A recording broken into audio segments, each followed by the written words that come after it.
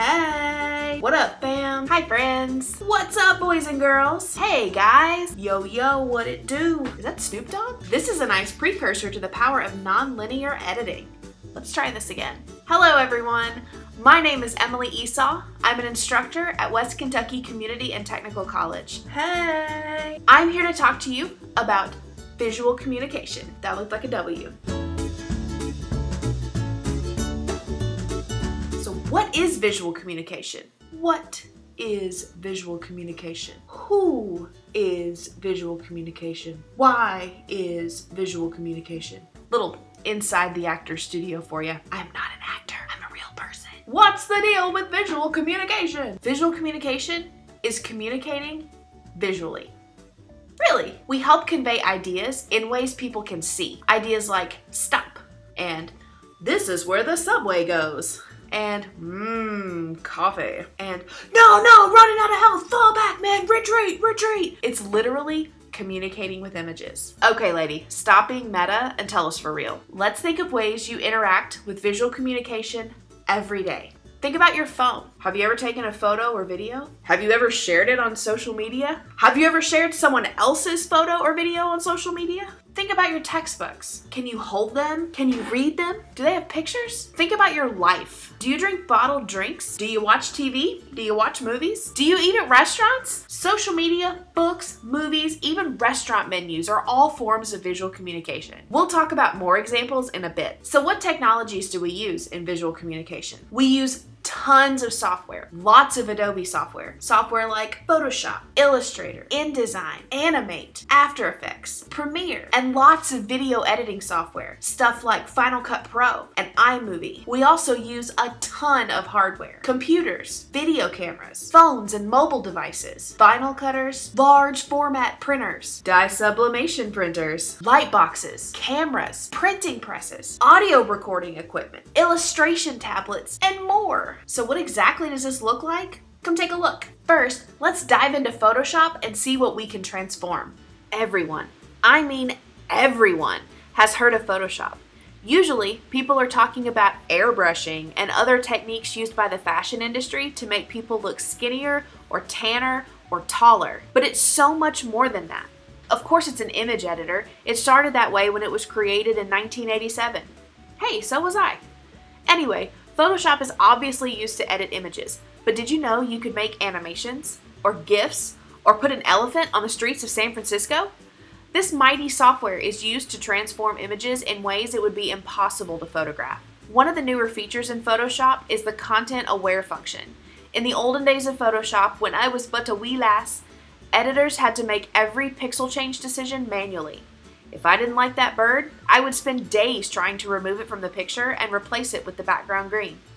Thanks to advancements in modern technology, thank you technology, the software is smart enough to do this for you. It is, like the name suggests, content aware. It's aware of the contents around the pixels it thinks you were trying to select and can use that information to fill in whatever hole your selection would leave behind.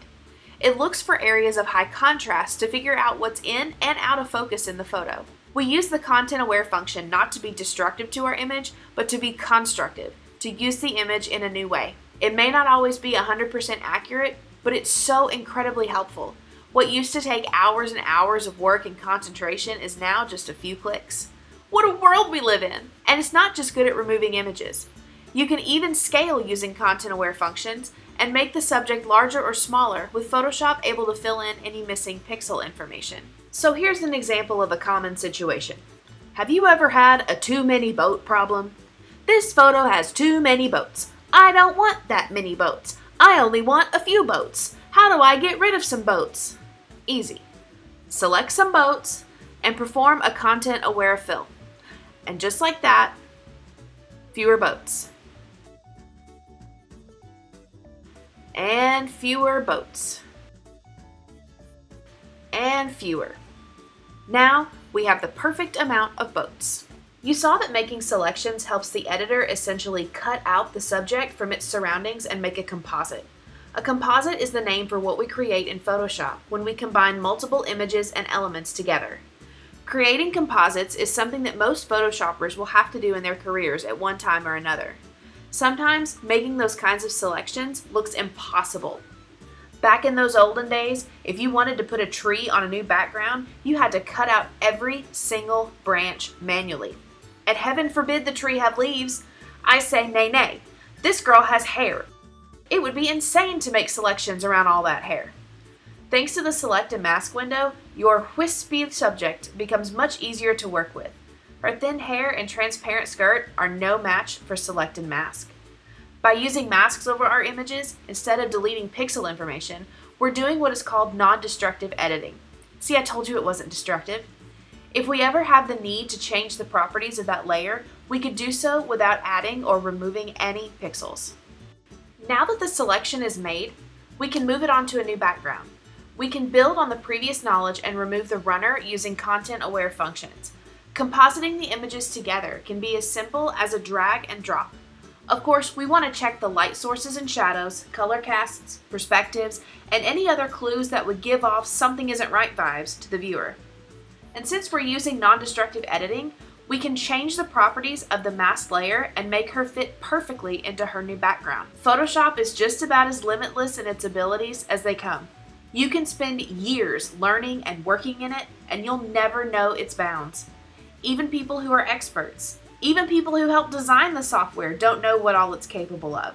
Compositing, manipulating, editing, animating, and all other forms of creating have a place in this software.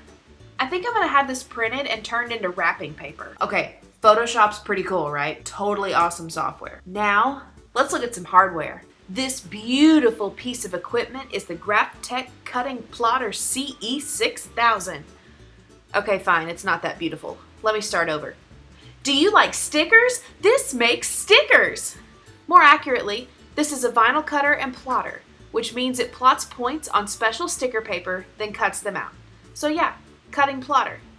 The process starts with a design on the computer. A designer uses software to prep the file to be cut, and they have to have a buddy because blades can be dangerous. After the file is properly formatted for the cutter, you use the buddy system to load the vinyl into the cutter. Then you get rid of your buddy because he's doing a bad job and you're better at it anyway.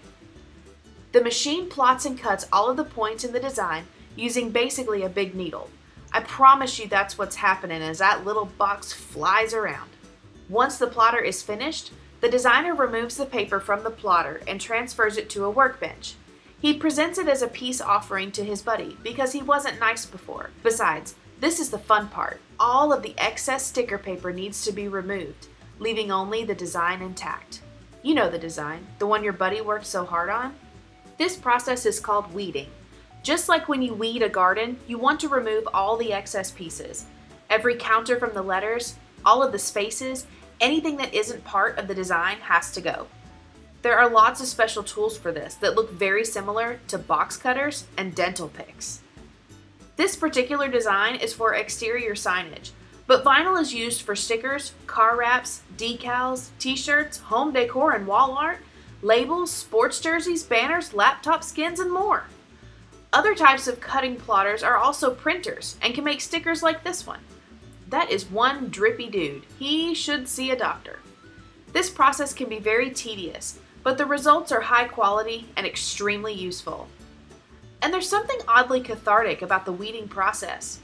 At times it can be frustrating, especially with small pieces, but overall, it's an honest day's work. Now what should we do about all those weeds?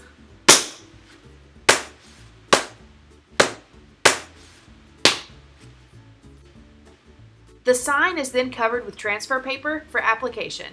So the vinyl cutter may not be the most glamorous of all the technology, but you gotta admit the work is really fun. So all of this has probably brought up some questions. You've got questions, I've got answers. I'm not Staples. Am I in Staples? This isn't Staples, right? What kind of jobs are out there for this? This industry has lots of different career choices. Jobs like graphic design, web design, video production, animation, page layout, branding and marketing, t-shirt printing, CGI for film and video, tattoo art, package design, digital illustration, printmaking, instructional design, industrial design. Okay, so where can I work? So locally, you could work for Paxton Media Group, working at the Paducah Sun, or WPSD, American Quilters Society, AQS. Socially Present, Quick Signs, Kaler Signs, the National Quilt Museum, Lone Oak First Baptist Church. So, what's new? Commonwealth Productions. And of course, you can work for yourself.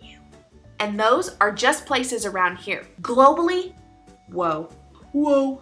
Do people still watch Friends? Tattoo shops, design studios, marketing agencies, greeting card companies, advertising agencies.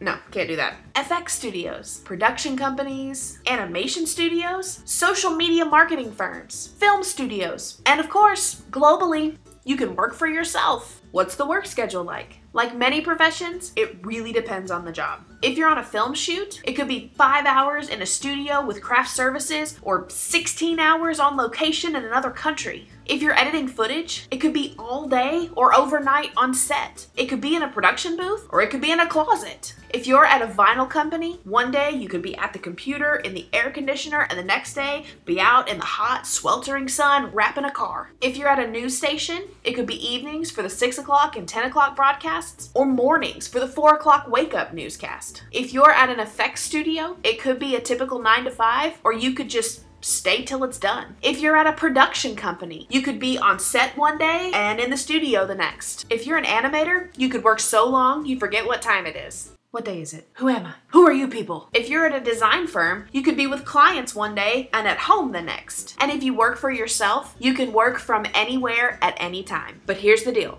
Every job has one thing in common. No matter what your profession is in this industry, there's one thing you'll always, always, always have to deal with and abide by. The deadline. The deadline deadline. If you want to keep your client, meet the deadline. If you want to keep your job, meet the deadline. If you want to get paid, meet the deadline. This industry can be high energy and high intensity, but you have to be able to focus and get the job done on time. If you want to play, you've got other non billable hours during the day. Okay, tell me more. What kind of qualifications do I need? Training and education can help you decide which part of the industry you want to be in. Education can also help you understand how to work with the technology before you enter the job field. Like most careers, we learn a lot on the job, but it's helpful to have a knowledge base of the tools, especially when a potential employer asks you, How are you in Photoshop? You need a lot of software knowledge. You need to be organized. You need to be able to spell. You need to have big ideas. It helps to have even the tiny a shred of creativity. And once you get experience, you'll need to have a portfolio. A portfolio is a way to show people who may want to hire you how good you are at your area of expertise. It can come in the form of a website, a book, a reel, a PDF. It's a way for people to get to know you without you even being there. Schooling and training can help you build a portfolio with real world and real world like projects so that you can get a better job and get better money. On a side note, you may have to do a little bit of math. Sorry. Things like calculating dimension and scale, talking about screen resolution, working with page numbers and print signatures, billing. Basically, if you can add, subtract, multiply, and divide, you're in good shape. Oh, and percentages. That's important too. Someone may be late paying you, and your terms and conditions say that it's a 20% late fee, but you don't know what 20% of your bill is, so you undercharge them, and they're like, oh, I just saved some money. I can be late with them from now on. Or you can overcharge them because you don't know 20% and then you get audited for fraud. Both of those things are bad. Nobody wants that. All right, I'm on board. I'm game. What can I start doing now to prepare me for this career? Start creating anything. If you paint, if you draw, if you make funny YouTube videos, if you entertain your friends on Snapchat, do it for the Vine. I ain't gonna do it. Do it for the Vine. I can't. Vine is dead. Think of big ideas, whether you can make them real or not. Design a comic book with your own characters. Make your own animations. Decorate your space in an interesting way. Share engaging photos and stories on Instagram. Make memes.